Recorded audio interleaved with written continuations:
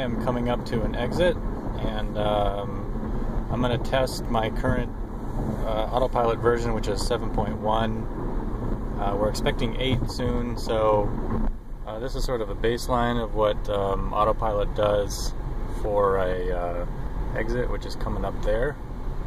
So, my blinker on pretty soon. Now there are cars in front of me, so it, that's a little bit like cheating because it'll detect those cars and slow down. Um, rather abrupt. Whoop. It grazed that number a little bit. This is a pretty sharp turn too, so it's a little sharp for it, a little sharp for it, but it's doing okay.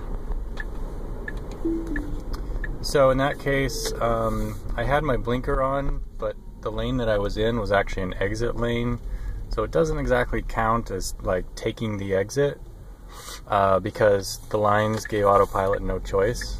Um, but what it did show is that once it was in those lines, it was able to slow, uh, slow down enough to um, negotiate both of those turns. It was basically an S S curve was able to negotiate both of those successfully.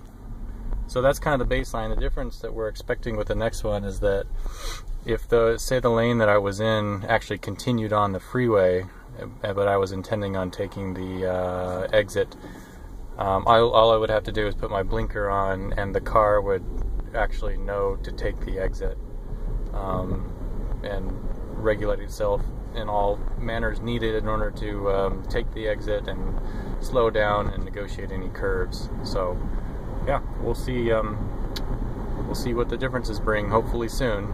Oh, hey, there's a red Tesla. Oh no, it's not.